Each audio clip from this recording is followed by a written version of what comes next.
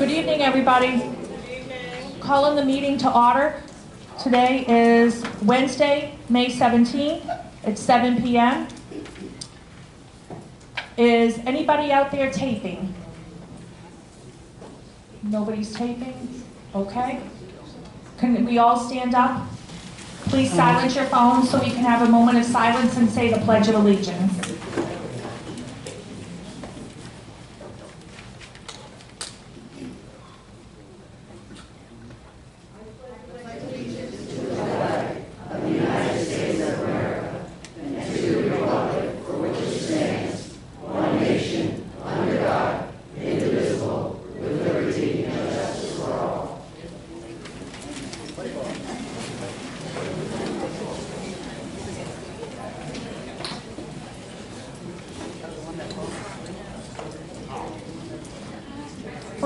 On the agenda is the approval of the minutes from the Board of Directors meeting for 4/19/23.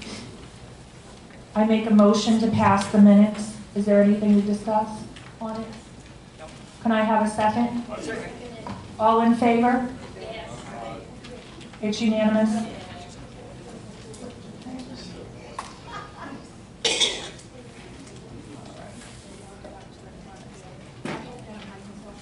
I hope that, that one gives me a hard time. Maybe I'll just break it.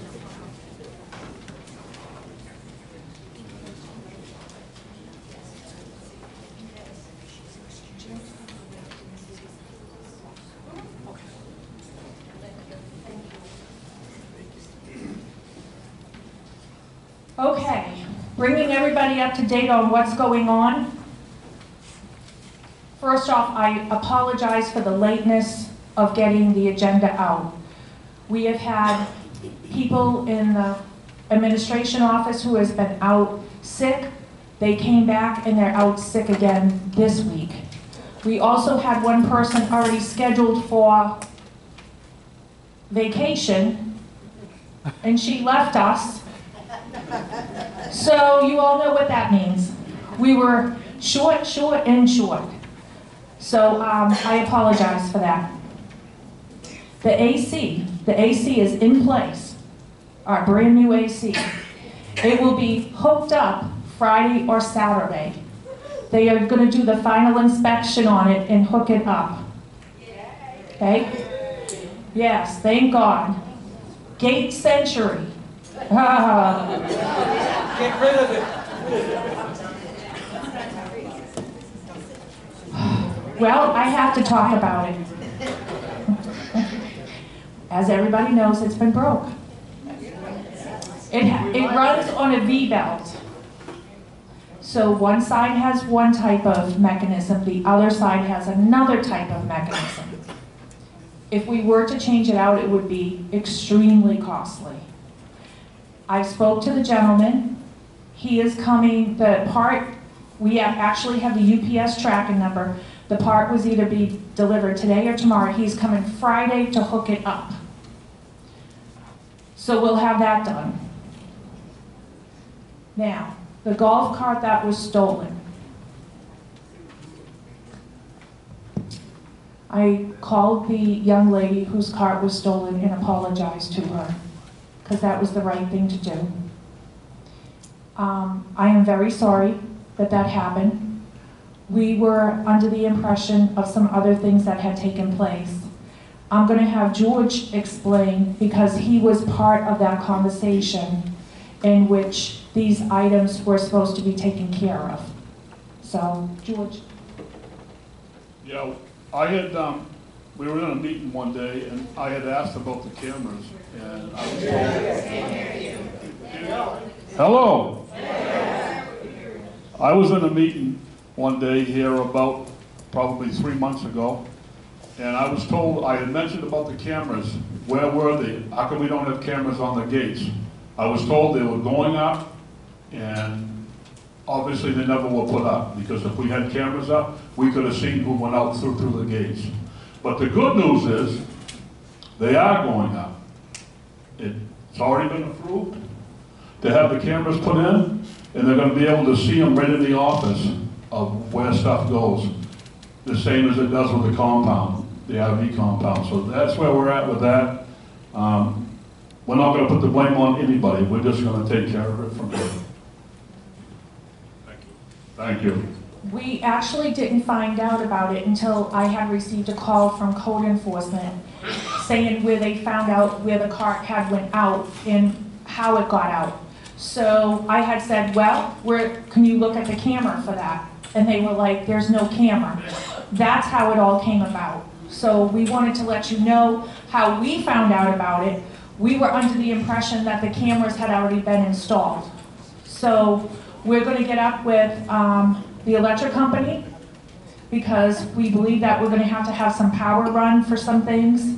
We know that that's gonna cost some money, but it only makes sense to spend the money on these gates and have them done correctly Because there's no sense in having the front gate secure when everything else can be in and out in a heartbeat.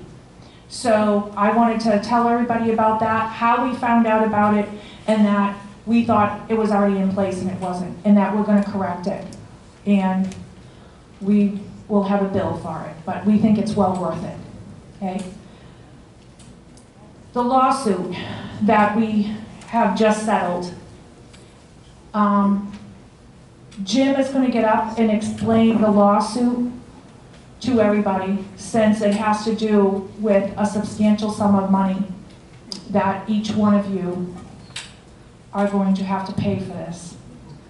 And we will take questions at the end with members' comments, which I know you will have, but we want to give you all the information that we have right now. Thanks, Debbie. Can everyone hear me? Hi, can everyone hear me?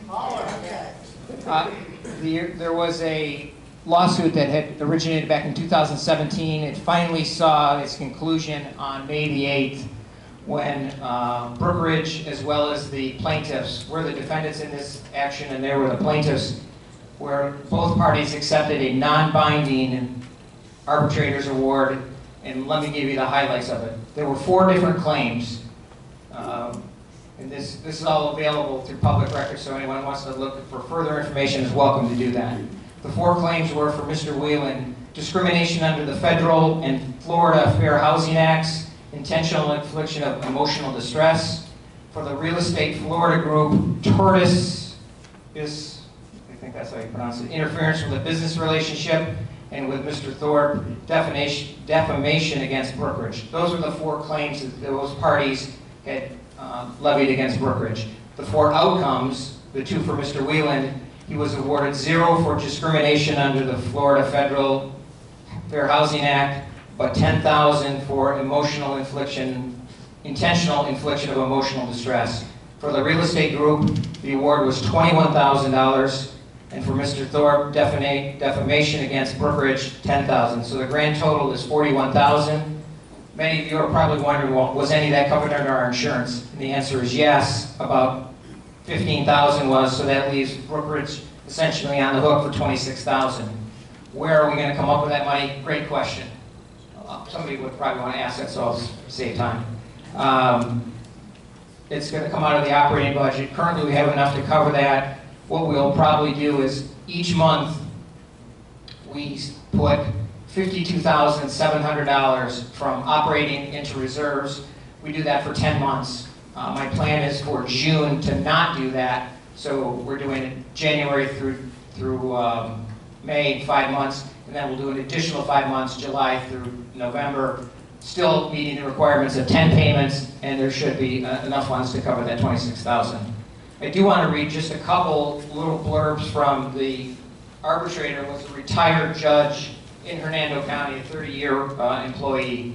Um, And these are just a couple of comments that I want people to maybe think about, and for for no particular reason other than just for your thoughts and if you have questions.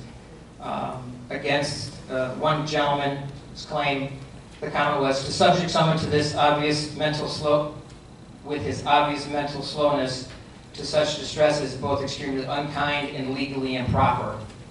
The behavior of the agents and employees of Brookridge towards Scotty could have been used, handled much more civilly. That's one comment. Another comment is, this is for the real estate group, the evidence seems overwhelming that it was illegally interfered with its business relationship. Many letters, legal actions, and overt acts seem to be purely retaliatory towards this company. And then the last comment that I'll read, um, that the arbitrator wrote, Mr. Thorpe was definitely defamed individually. So the um, insurance company paid a portion of the $41,000. They apparently agreed that there was some deliberate or malice, or I'm not sure what the right adjective is, purposeful, thank you, um, on Brookridge's part. So what do we do for the future with the theory that we're going to look forward and not look back? I think we just need to make better decisions as, as a board and as employees here, and we'll just keep bringing that up. So those are the highlights. The, um, and again, it is available um, as a public record. So if you have more questions, you're welcome to do that. I may be able to answer some, you're welcome to see me after the meeting. Thank you. Just to make a comment on that, the day that this was scheduled, um, there was a jury that was gonna be convened in Hernando County. I can tell you leading up to this, I can say this for us here on the board, when we get a call and we put out for litigation, it means that we have a problem that we have to discuss. We're not going there to hide anything from anybody, okay? We have a legitimate claim that we need to discuss. Whether it be somebody's going into foreclosure or something like that, you would not want us to discuss that in public. That's not fair. But I can honestly tell you that this particular case has weighed heavily on all of our minds here. And we, there was many nights where we didn't sleep well and got up the next morning and called each other. Because we knew we were gonna face a jury, and that jury could have returned any verdict. And that verdict could have left us with a special assessment. We were even calculating amounts that a jury could come back on. Could have left us with a special assessment or even worse. So we thought that the offering to agree to settle to this amount versus an unknown amount that a jury could return was the absolute best decision that we could make financially for the community. So I want everybody to know that we really thought about this. It was a very difficult decision for us. We were very, very nervous and very scared. So we're glad it is over and we have to now move forward. But when it comes to members' comments, whatever comments you have, we'll gladly try and answer them. De- Debbie, to add to that, um, by doing the arbitration, it gave us a, a, a rare look as to what the other parties were to say in court. So we had a chance to see what their arguments were, and that weighed into the decision-making process.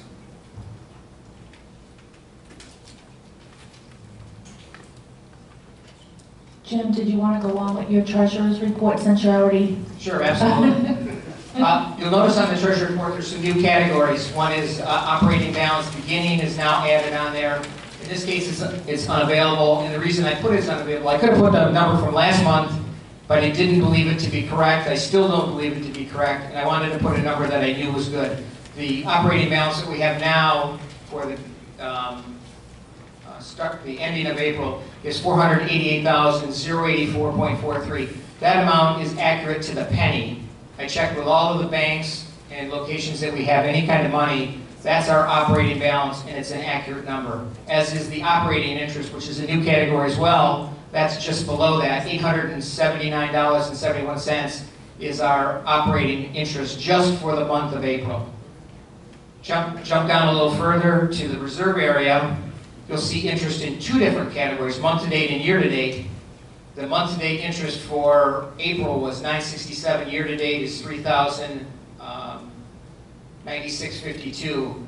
For, when you add both year-to-date uh, interest in, we've earned $5,554.48 in total interest, whether it's operating or reserve. So, and that is, an again, another number that's accurate to the penny.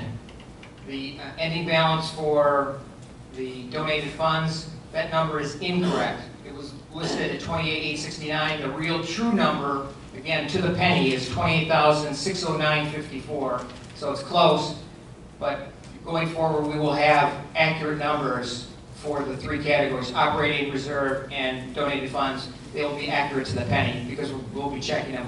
We have access either by telephone or online to check our balances on the 30th, so we'll know exactly to the penny how much we have. You'll notice in the center of the report, operating expenses, there's a couple unavailables. The numbers for the monthly charges, which total 82,926.55, which is down from 128, 128,000 the month before. We believe those numbers to be reasonably accurate, but the, the year-to-date totals were not, and that's why it says unavailable. I don't want to put numbers here that are not accurate. In my humble opinion, I want them to be accurate as they can be, and if they're not ridiculously close, I want to put them as unavailable. This is a work in progress. The, the, the treasurer's report has been kind of out of whack for a while. I'm not going to be able to fix it overnight, but this is the first steps in that, in that process. Any, any questions that anyone has? In the back? How much do we use? Go up to the mic. How much did we, How much do we actually lose uh, to the prior members? Do we have any figure on that? We never heard anything. Yeah. As far as the funds that were, said they couldn't make, um, couldn't make right, didn't know what that figure was? And we Yeah. never got a a figure on I I don't have that as a Okay. That's not been unavailable for a while. I'm working, I'm working on it. What, what I have to ask is that this is a very complicated process. It, it's, the numbers haven't been correct for a while. I, I'm not here to point any fingers at anybody. We're looking, again, we're looking forward. There's a reason, I work for Ford, there's a reason why the windshield is 30 times bigger than the rearview mirror. You're looking forward, not back. Um, and, and it's a work in progress. There was another question? Our money? Our money is in, um, I'll, I'll give you the highlights. As a matter of fact, I'm gonna give you exact numbers. Oh, I don't need exact. Okay, then, we won't do that. We have a new account at Truist Bank, that's where we're gonna have reserve money. We have a new account at Regions Bank, there's two hundred and ten thousand exactly in there for, that's our reserve money in Truist, I'm sorry, in Regions. We also have money in Cap City, which is right up the street, across the street is Brennan, and in Edward Jones, we have eleven different CDs ranging from four point eight five to four point nine five with various um, expiration dates. One is uh, somewhere in July, those were three-monthers, some were six-monthers, and I just recently purchased two, two years that pay interest monthly. So it was a great deal. It- You get interest every month rather than waiting for two years, which who wants to wait two years? And the rate was 4.85 on the first group I bought and 4.9 on the second group. That's after the Fed raised the discount rate last week. You bet.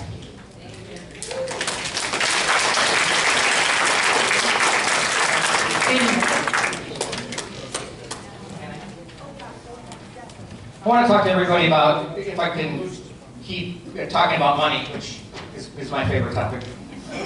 Uh, we've also got an account at a bank called TIAA Bank, which I did not mention. There's 199,320 in there, so almost 200 grand. Here's the problem. It was a CD that was automatically renewed in February. It wasn't something we did, it was just automatically renewed. Well, say, oh, great, you got a CD. Well, that's the good news. The horrible news is the rate is 2.37. So the rate is just terrible. We have two choices, and I spoke with probably four different people and a manager. Our two choices are to leave it in there for the next three, almost three full years and collect 2% and be disappointed, or we can withdraw and take an early penalty of $3,528. And people are thinking, 3,500, are you insane? Why would you pay that much money just to get our money back? Well, let me give you the math real quick. In the first year, if...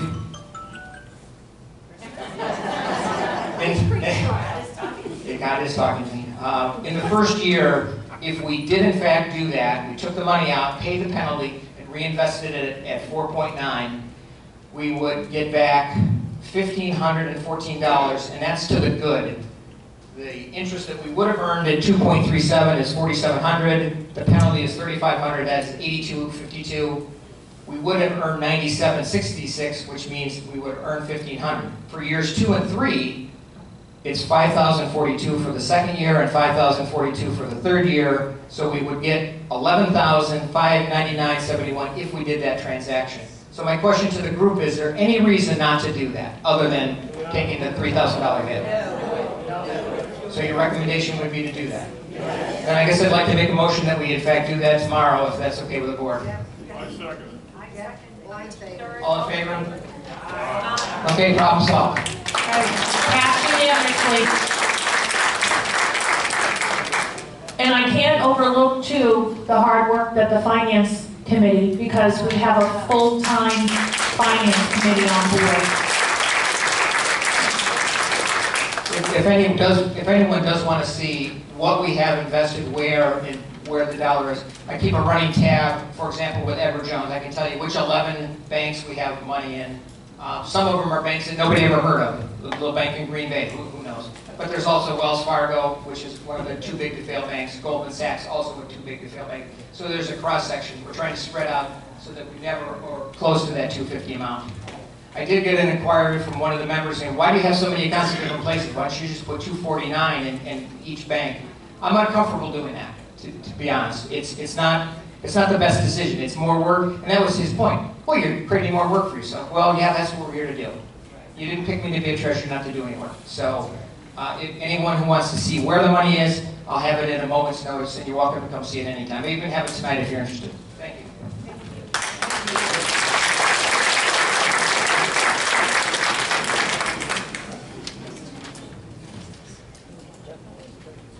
And since Carol's not here, we'll just move on? Okay, thank you. All right. Unfinished business, um, Traffic Safety Committee. I'm gonna go ahead real quick. um, And read, just, just in case nobody picked it up. But this was from the, um, our workshop. And we tabled it so that we could consider it, we could go look at it and see exactly what was going on. But it was recommendations to the BCPO Board of Directors to put on the agenda for the next BCPO workshop. We're here now at the board meeting, requesting to establish of a no parking zones on both sides of the roadway over the crest of the hill at Dinsmore Street and Cedar Cove Ave. Okay? So I am making a motion to install the new par, uh, the no parking zones on both sides of the roadway over the crest of the hill at Dinsmore Street and Cedar Cove Ave. Does anybody have anything they want to say, discussion? Just uh, one quick thing, Deb, there is on the, on the traffic that travels westbound, there are signs, if you look at the map that was in, if you have this copy, it's right where the O is in Country Club and the U is in Club, there are actually two signs going westbound, so there would be two new signs going eastbound. The problem with the westbound signs is they're so faded you can't even read them. So we need four new signs, even though two are in place. And it is uh, roughly 80 paces from the top of the crest. So if you walk 80 steps or 80 meters or 80 yards one way go 80 the other, that's approximately where the signs would be. It encompasses, I think, five homes. And I can just say that I travel country club, coming up to the clubhouse a few times a week. I had been stopped on country club because there was somebody stopped with their emergency lights on. Fine, I had stopped. It just so happens that Tracy from Traffic Safety was coming the other way. I did not know it was her at the time and stopped and spoke to the lady. But even if that lady was not there, I did not feel okay pulling out to pull across because I was at that crest and I couldn't see anybody coming. And if they were coming up or a golf cart or something, it would have been quite serious. So that's when I realized we have a really serious issue right at that location. So I just wanted to tell everybody what I had experienced at that location.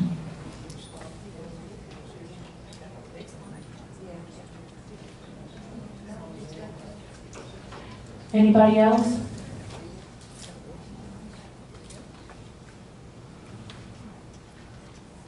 Motion to approve the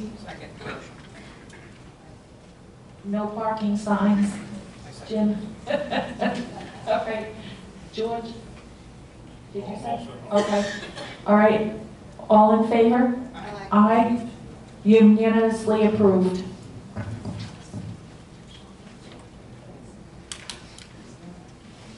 We have, um, I have one other thing for, um, new business. I know it says none, but it didn't have to be put on the agenda.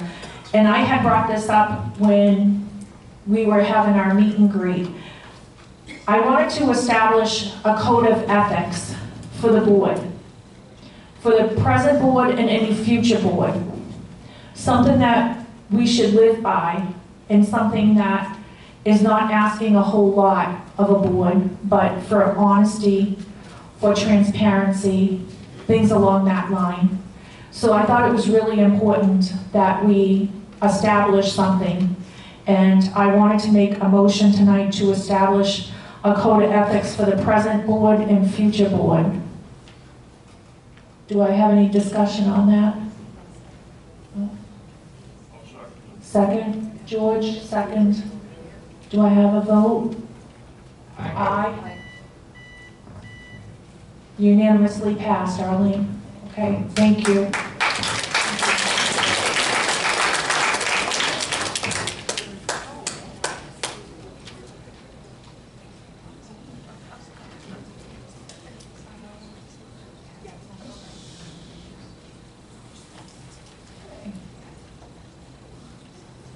All right, and we don't have any, um, Millie, did you have anything you wanted to say about your um, experience you've had so far with the um, Public Works and with uh, finding the signs and with anything with your, um, your other signs that you brought up? Okay. Okay, um, just bear with me, don't get your knee replaced, okay. Um, you're not kidding. Okay, I have been working, um, today I had a meeting with uh, Tracy, not Tracy, um, Lucy and Billy from Public Works.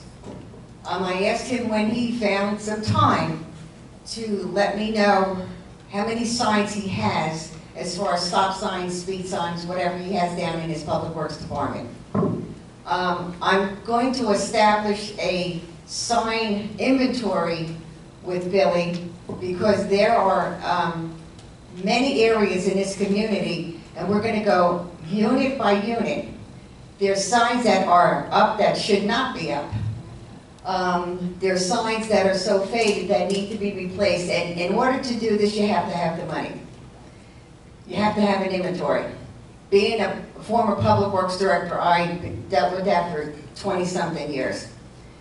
What I am asking Billy to do is get, gather all this information, and I also am requesting through Tracy, our traffic safety coordinator, that she would have him come to the next traffic safety meeting, because if anybody knows about the signs and everything in this community, it's him. Because you'll hear, well, no, maybe it should go there, maybe that, no, you, you can't put a sign anywhere you think you, you want to, you, can, you just can't do it.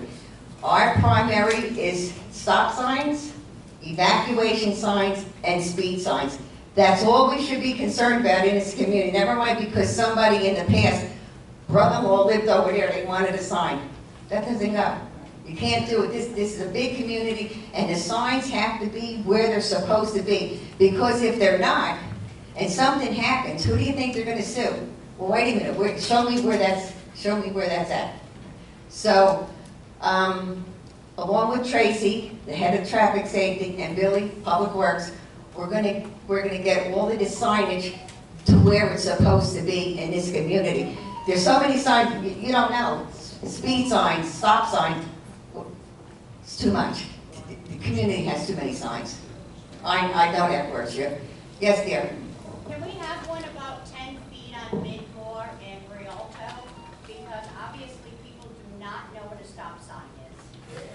Well, right, right now, your stop signs, if, if you look at your different streets, you have a stop sign basically at, at the end of each street.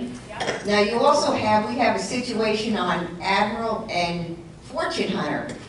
Right on the corner, the sign is put back onto, onto their property, which has been there for a long, long time. But in order to move that where it's supposed to be, you have to have, you have to have a utility mark out because you don't know what your underground utilities. You just can't take a sign and take it out of the ground and put it someplace else, God forbid you hit it. I'm not asking for that, I'm asking for a ten-foot sign so people actually stop.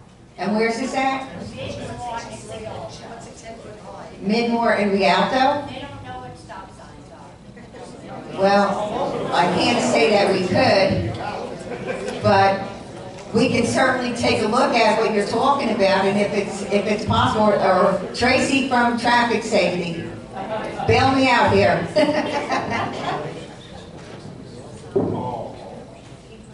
Tracy McCumber, uh, Unit 2 Traffic Safety. Um, I'd just like to let everybody know, um, before we get too deep into this, on May 30th at 7 PM, we're going to have a a town hall for the traffic safety. The community is, um, it's for you, so you can come and tell us what we need. Y'all live out there, you know what's going on, so it's going to be a a town hall, and we expect um, some great things to happen. We're working on a lot of stuff, just be patient, it's a new committee, um, and we have a lot of support, total support from the board, and I commend them and thank them for everything they've done thus far. But May 30th, mark your calendar, 7 PM, and all your concerns, if you need a stop sign, you got speeders, which would be, hmm, interesting. We all have speeders, so we're gonna address pretty much everything we can at that meeting, and we'll take everybody's concerns and advice, so um, I just want to let you know. So if you have questions, just save them for then, and we'll see you then, okay? Thank you.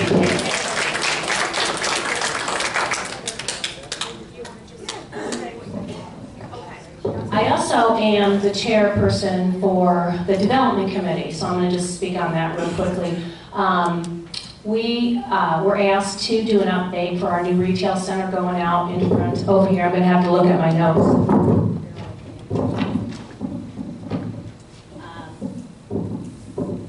Uh, I'm going to start with a, they did a traffic study, Hernando County did a traffic study, that is complete.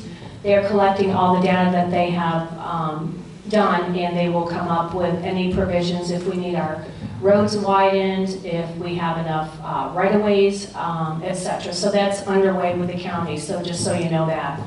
Um, The next thing is our sign. The sign will stay where it is. It will not be affected, and I know that was a concern for a lot of people. Next is the landscape um, barrier or buffer, whatever you want to call it.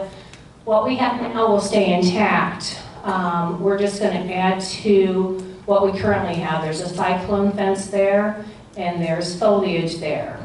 Um, What we're going to do, or they, the developer, is going to, um, they've submitted a landscape plan to the county, which will all be approved again. They'll put in more trees, more foliage, and create an opaque barrier um, between our community and uh, the retail center. So, um, again, there's going to be a lot of questions, and I will get with the developer um, quite soon, and hopefully we can get him back here and he can answer more specifics. Yes, sir. Do you know how tall the barrier is be? Yeah, they can range from, it'll be what there is now, but they'll stack the trees, so we'll start, you know, low and they'll go up maybe to 30 or whatever they are now. I don't actually know what the current is, but it will create a barrier. They've actually found, and I did a lot of research in the beginning on the walls and the PVC walls and all those. They really don't create a great sound barrier. They reverberate, so you get more sound. So they found that actually trees and foliage are the best barrier for sound, especially up against this. So also, um, the lighting and the noise, um, that has been uh, taken over by Hernando County. There's all stipulations. The county does all of this. They have to approve that there is not going to be excess noise, excess lighting. Everything is approved by the county to be sufficient for a residential living area as well. Um, Hold on, let me get my notes. And you guys can ask questions after, but um, again, I'll, I'll get the developer here at some point when we get further into this. Um, Hold on. Uh, Golf cart access to the new development is something that's been approved by the county. Um, Will it come to fruition? It- There's a lot going on with it. There's um, cost that will be incurred.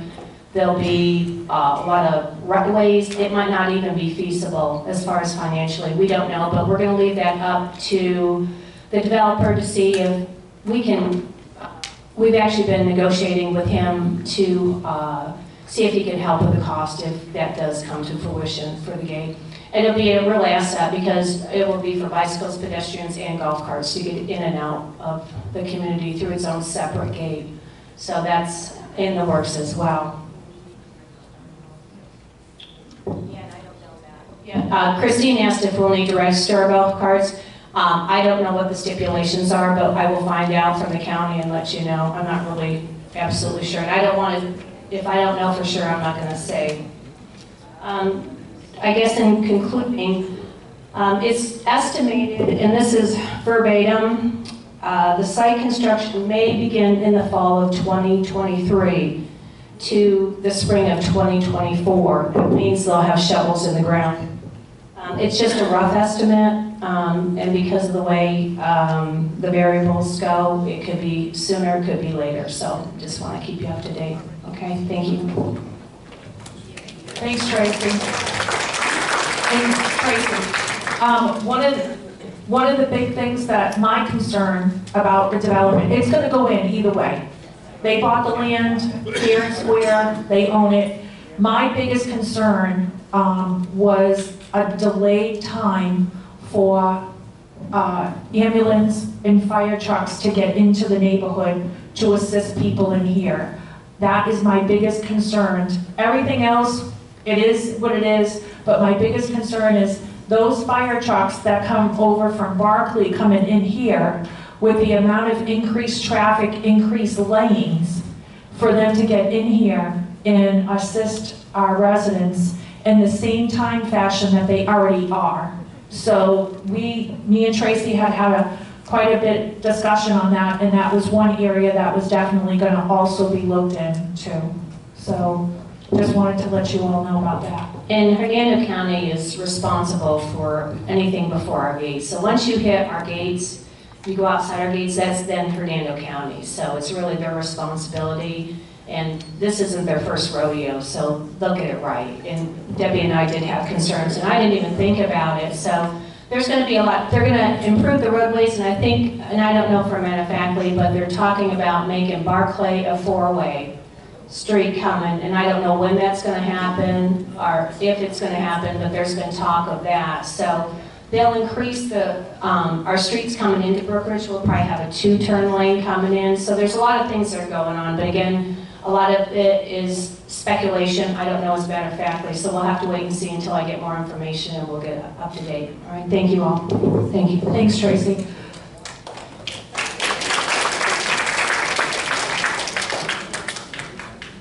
I'm gonna start first with the comments.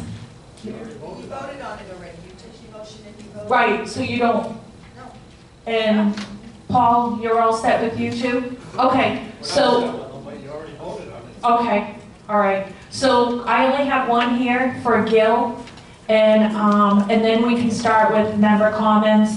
But Gil wants to speak on the, um, Veterans, uh, Committee Memorial Day.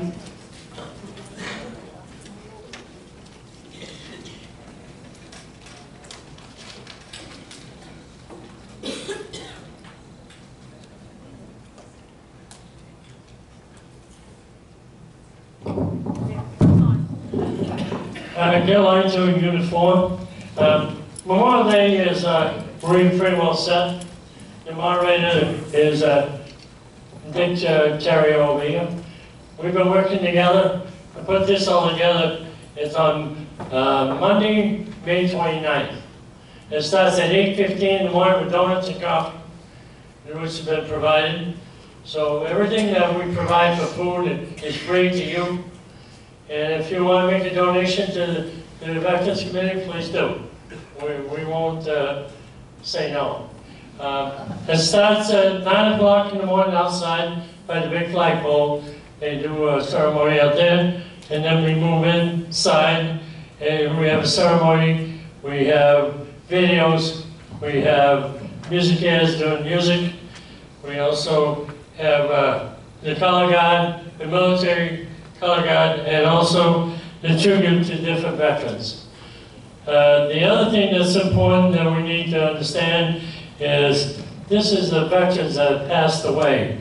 The- These are, not, Veterans Day is actually is for the veterans that are alive and still here. These, these here are a veteran that has passed on in, in many ways, whatever it was, if it was uh, during combat, or was after combat, whatever, they're, they're passed on. So uh, what happens there is we have speakers that are going to come in and speak uh, different materials. Uh, we do have a gentleman that we're going to introduce to, uh, to the folks that is going to have his 100th birthday. He is uh, with, uh, he's with World War II. Uh, he was at Normandy. The whole idea is, uh, we're trying to get as many veterans in here that we can.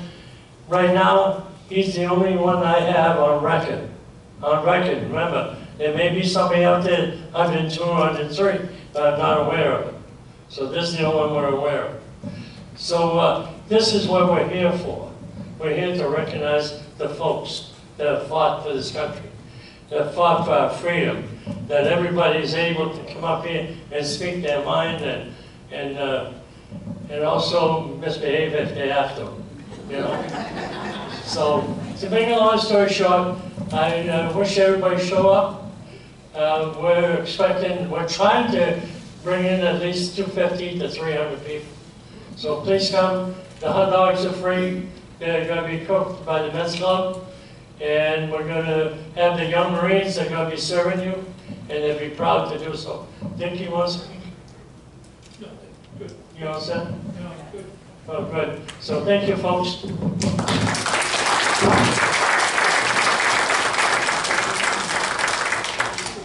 We're gonna open it up for member comments. Please, if you come up, please be nice to Arlene. She's the only one here. Make sure you give your name and your unit number.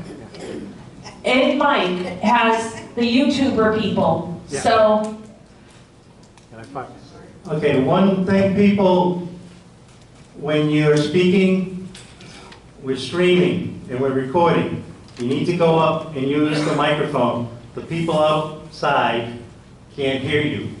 So if you please, if something, like with Tracy, you know, approach her, ask the mic. Uh, I do have a couple of questions. Uh, One is for, the first one's for Jim. Uh, The question is, how much do we pay in fees to Edward Jones? Zero fees. There's no charge. We like, we like zero, it's a good, good number for us. There, there are no fees for those CDs, whether it's in the CD or the money market. Either entity is zero fees. Uh, I have another question, speaking of signs, are we required to stop the stop sign at the outbound gate? yes, so that the gate can come up, so that you don't hit the gate. I think it'd be, Well, right, right now, but, but right now, we are asking people to go slow. And it is a stop sign, so it's legally to stop and proceed in case something's going on, you know, out there. oh yeah. no, And another question was, how can you add something not on the agenda and vote? I'm not up Roberts. I think the, I think the ethics. Oh, the ethics. Well, we, we thought it was something that we needed to put on there. We've been wanting to, and like I had said at the beginning, we had people that were out sick in the office. We had Arlene left us. Yeah, five days. My great niece turned one. We had that person come back and leave again. So we were kind of short-handed. I did not really think putting this off for another month was a good idea. I thought we could work, work on it, establish it, and come back with a rough draft for the next meeting. And it had no effect on money, on rules, on um, anything that affected anybody uh, resident-wise. So that's why. That's all. Do you have anything else? Okay. All right, member comments? Um, You want to just start going row by? Okay. Three, three minutes. Mary Story, Unit 6.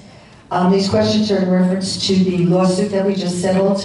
I know, Debbie, you may not be able to answer them tonight. I have them written down, but hopefully you can get us back some answers by the next meeting. Was there any court cost incurred to us in this lawsuit? Because we know it's 41,000, but that's not the- really the true number for this whole suit, if you think about it.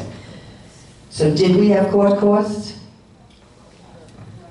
I I believe we will have some court costs, some attorney costs, let me rephrase that, when there was discussions with our primary attorney, Steve, and the attorney for State Farm. I believe the attorney for State Farm, there was no direct charge to us. I have not seen a single bill for a single dollar from that attorney.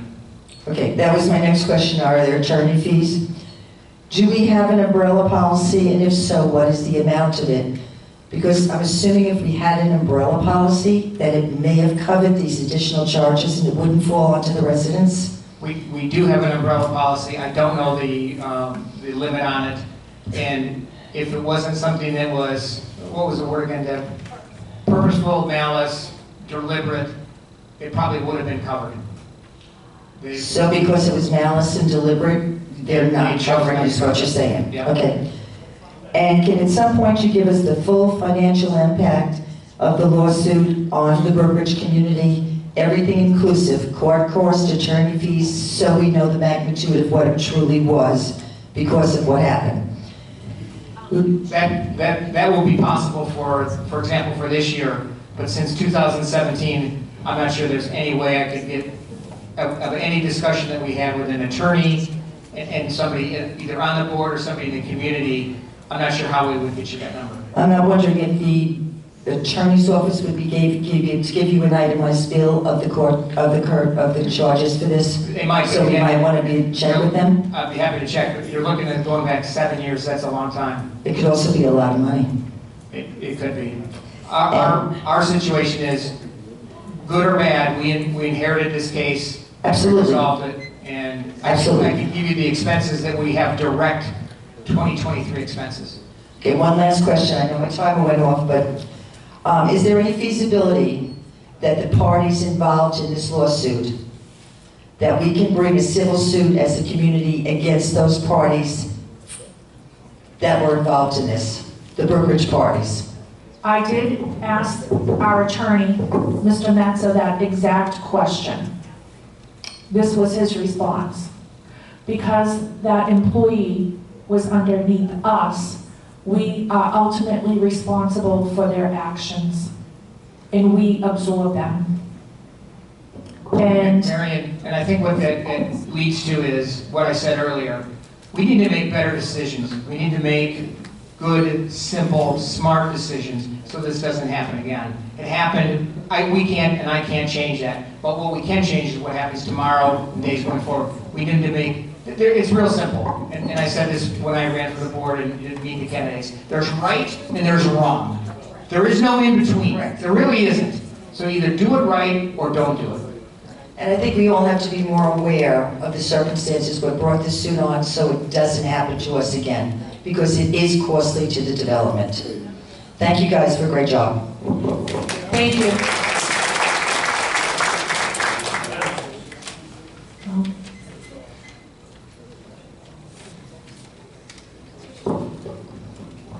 Hi, Vivian Blair, Unit 4. I have a request. It's great that you people are standing up and coming up to the podium. Us short people in the back can't see you. Is it possible for you to go back up on the stage like it was years ago so we can see you? Well, we actually asked that, but we have two members, one that had a recent surgery and one that is unable to climb stairs.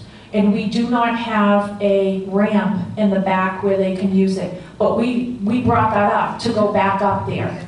So, Thank you. thank you.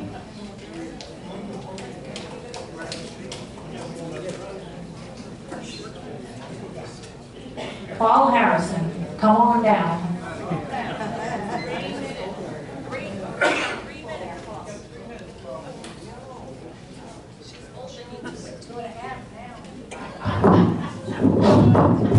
Harrison, Unit 4.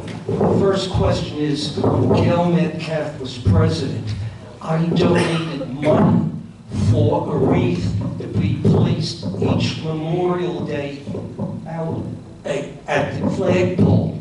It was done the first year and has never been done thereafter. What happened to that wreath I paid for? Do you know?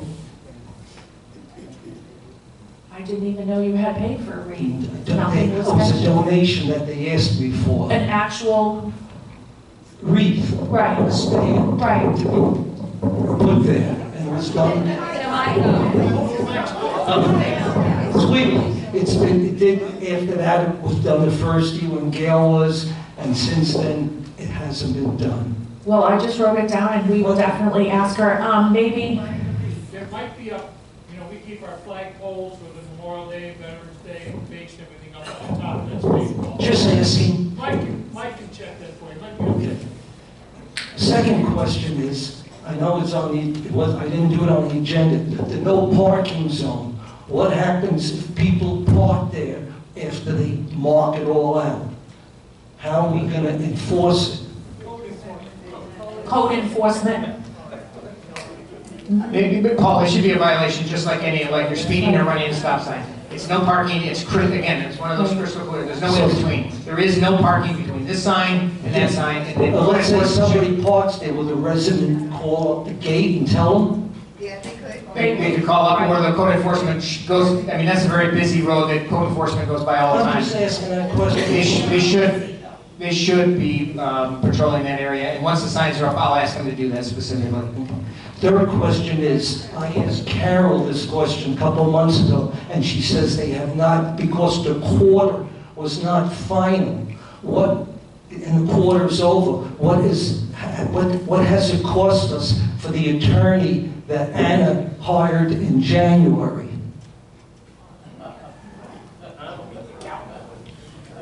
CPA, the new CPA. She said she wouldn't know until the quarter was up, which would have been March. We haven't got a bill Okay? for it. She said she couldn't couldn't give a report until the quarter was up. Right, I don't think, I don't think the CPA has finished yet. Well, she says he bills us by the quarter, first quarter, second quarter, third quarter, and fourth quarter. I just run it up, I said, it's Right, we haven't- Paul, Paul, we haven't haven't, signed any I haven't, I checks. haven't seen any bills from, uh, the CPA. If I do, it's something I'll bring up to, to not only to you, but to the finance committee. Yeah. And we'll share with the whole member. Okay, I'm just asking, my last quick question is, the gate, it's been broken out for a month, the outgoing gate.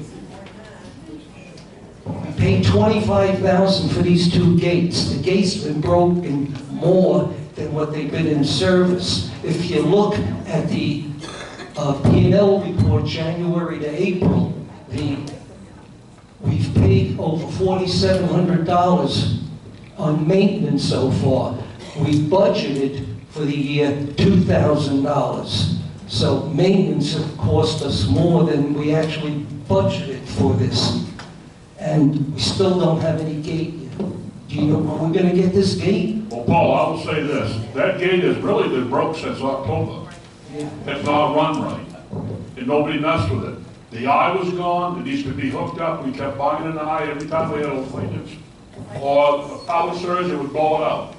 So we've got the eye now, it needs to be replaced. But the whole problem is we got one company coming in, we got another company going out on the gate. That's where it's at. Just And- asking. And that to me is, um, we're trying to do the best we can with it right now, but it's gotta be, it's gotta be, we're gonna have to make a decision. I mean, mean, people are coming in, I mean, I'm getting calls about it now that people, oh, somebody's come to my house. But they never showed up, but they're getting it saying that they did come to their house. You know, that's a problem, and we're gonna have to deal with that. Traffic is flowing wonderful without the gate. We don't need a gate. Um, I have, I have this gentleman here, and then.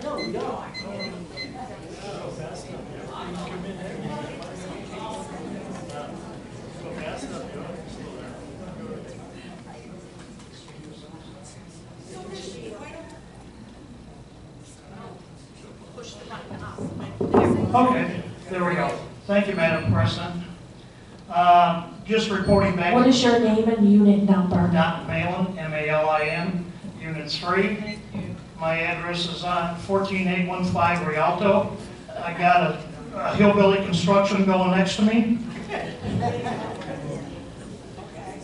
I wrote a letter to uh, code enforcement. Uh, They're inept. Okay? Uh, I still haven't got an answer back. I wrote two letters. I wrote one in Jan- uh, uh, January, and I wrote another one last week uh, for all the violations. They, In the last two weeks, they poured the driveway, that's it. Okay, you stand in my house, you look, you look up at this, at the driveway, I'm gonna get all the water runoff out of the. I got a six-inch drain in the back that's full of sand. Um, Pictures have been taken, people have looked at it, and inspected it. Uh, At this point, I would think that a moratorium on construction is, is appropriate. Because uh, code enforcement is not doing their job, so maybe somebody needs to come into code enforcement that has a clue. Maybe an engineer, maybe somebody that's done construction. There's nobody on that board that has construction background, none, zero, none. These are the people that are dictating policy to this community. Do I want to get involved? I'm going to get involved until this house is done or out of there. Okay, one or the other. So that's, that's my only comment. Uh, Thank you for your time. You know, Don, we worked together on this, we've been talking a lot about this, yes, there is problems there. And yes, yeah, drains are plugged, six-inch lines, correct, or four-inch, six-inch. They're plugged right solid, and, and my feeling is, and I'm gonna put it out there, it should not be at your expense to clean them out. Should be at the homeowner that, where the dirt came from. There was never up in the barricade, the, um, the barriers weren't up, water went over the, I think, we, I went down there, Don's vehicles were completely covered with sand from where it's blowing. And that's not right. And we need to do, yeah, and all I can say is, I'm trying. And I know that doesn't pay the bill.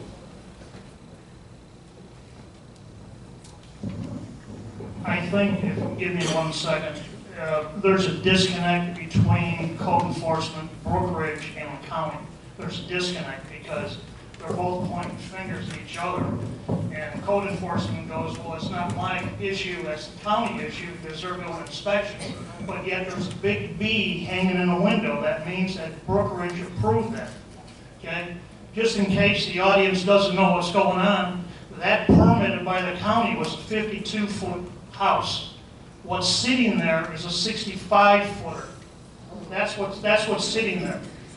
It was permitted for 52 feet. You think I'm pissed? Oh, hell yeah. You know. And just like we had discussed this before, um, the house was, came in before we had taken over. We had found out that there was a covered porch on the back that was supposed to be there. That porch then changed to a room. So therefore, it became a change in the square foot of the house. We know that, but by that time, the house came in in January? Janu- January 27th, the end of January. We knew it was there, you could see it, but we couldn't do anything until, and find out stuff until we came on in March. We did find out, I called to the city, got them to explain it.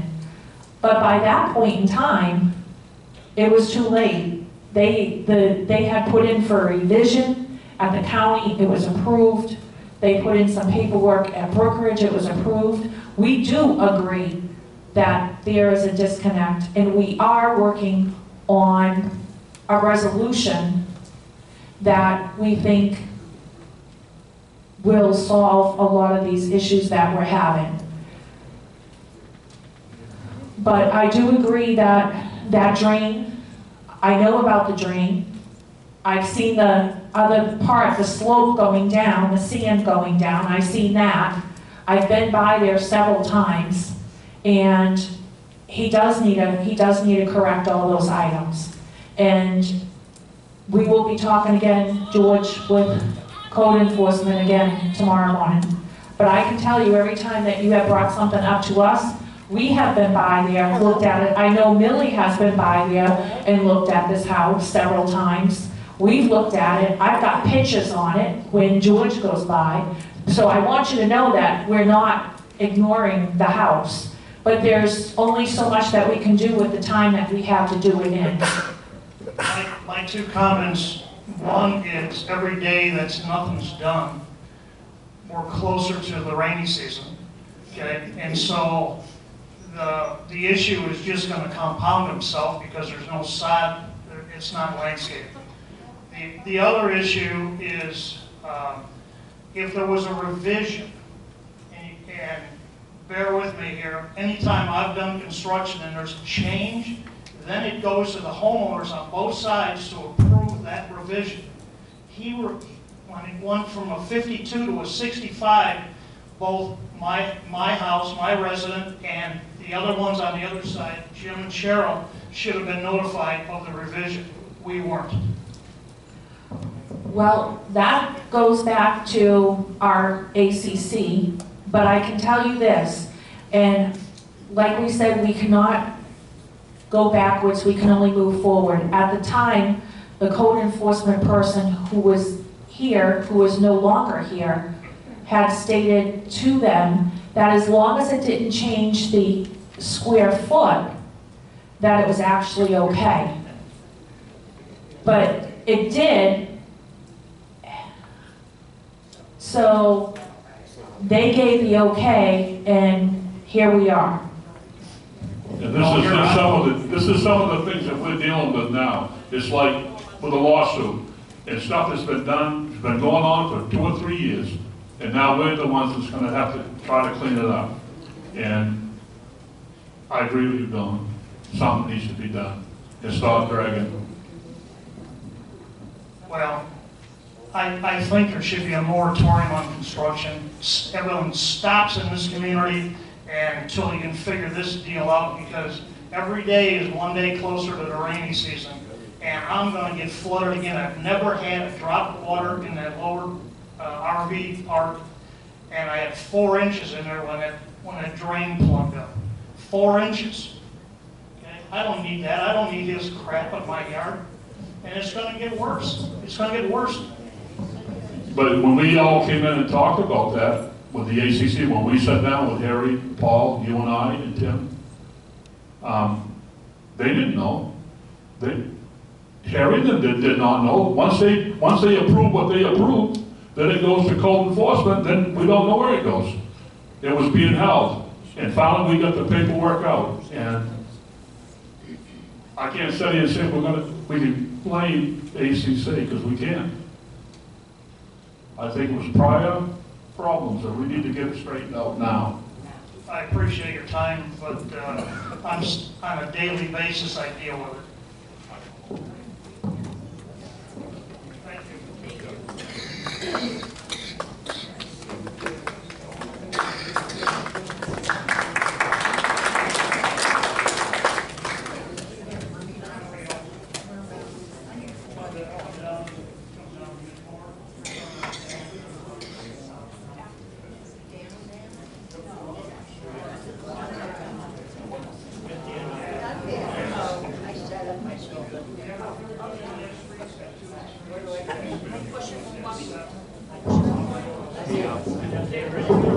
Sheila Walsh, Unit 3. You said that you're going to develop a code of ethics for the wash.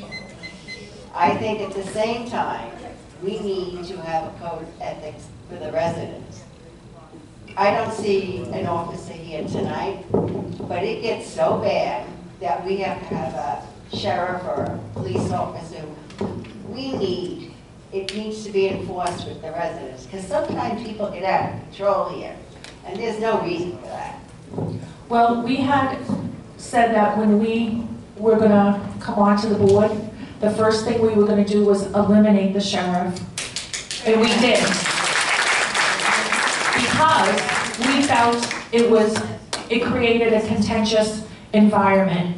And we think that we can be adults, we can agree to disagree sometimes, but we feel that we have been very transparent in everything that we're doing. And we've noticed that the meetings are going uh, much better. Everybody seems to be, it seems to be a more community after Honestly, I think you guys are very transparent, you, you know, you come to the meetings like with the safety committee and I just want us as residents to have the same respect for you as you have for us.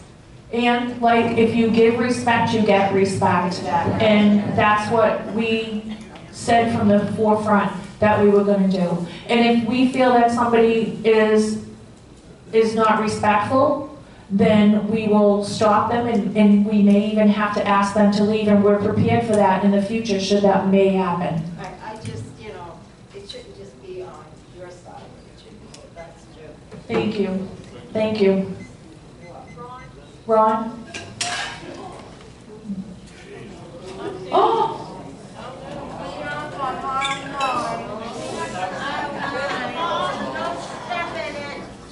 Sandy, what did you have in there? Be honest. Red Bull.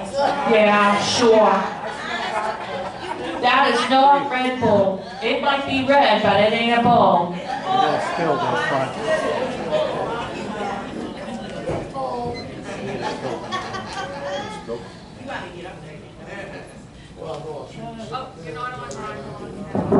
Ron Ross, Unit 6.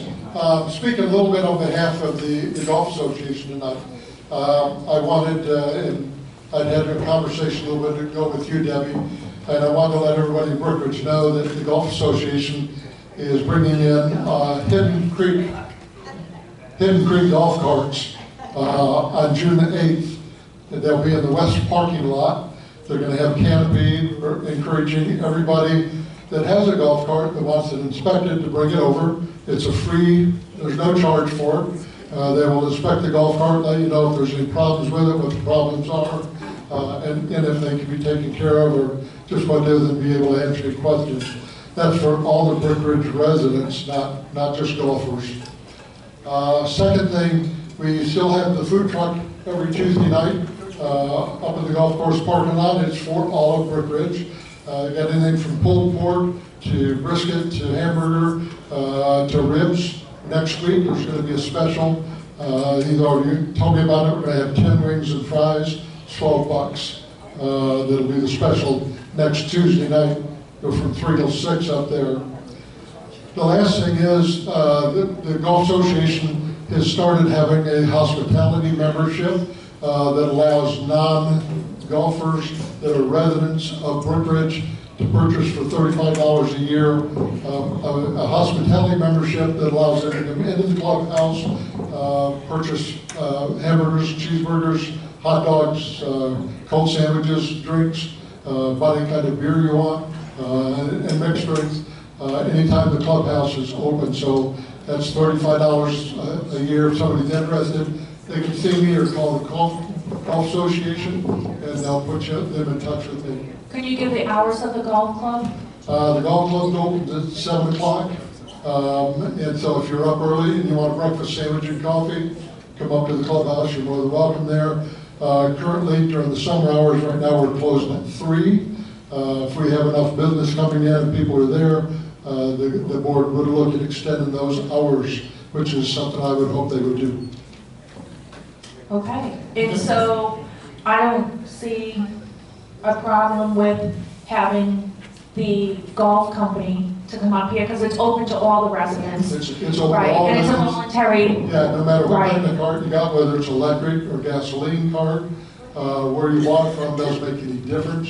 If you've got a cart and you want it inspected, uh, batteries checked and that, that's gonna be June eighth, When is June 8th? June eighth, uh, from, uh, nine AM to one PM.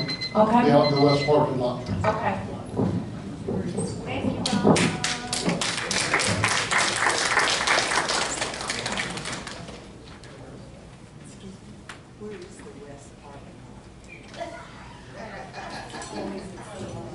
Is there anybody else with any other comments?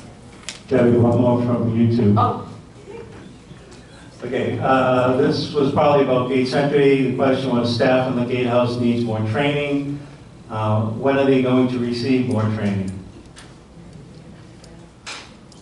Well, we can get the person out here, and he is gonna be here on Friday to install the belt for the, the arm. And I know that was on the schedule to be spoke to him about regarding more training. And he is also needing to install some other parts for us at that point and some lights that are out on the other bar um, that he needs to do. So that is on the topics to discuss with him regarding more training for everybody. And this one is from Mike Green, Unit 6. Uh, know the board's up to their eyeballs and stuff, but a few times I've heard the numbers related to the gates. Um, Might behoove to go back and take a look at the actual purchases, because part of the outbound gate purchases included the two barcode readers for the inbound and the outbound. So that's why the price looked so high, because those were, those are very expensive items, and we had to replace both the inbound and the outbound, so. And just a quick interjection on that. We had a, the, the reader, per se, I'm really not in understanding the whole computer thing out there that's involved. We had a part, it was hardwired, would you say? Yes. Hardwired. It was hit by electricity, it fried it up. We had a choice of spending twelve hundred for another hard wire or twenty-two hundred for a wireless. We went with the wireless. So we did spend that amount of money, and that is part of this uh, fix too, is to get that new part in here, which we've been waiting for a while for. But there was no sense in spending another twelve hundred, and with storms coming and everything else, then we would be spending another twelve hundred, than to have something wireless that we wouldn't have to worry about. So just to offset on Mike, we did make that decision, that that was the best decision to go wireless. So, does anybody else have any other comments? No? All right, with that, I'll make a motion to adjourn the meeting. Second, all in favor? Aye, okay. The meeting is adjourned.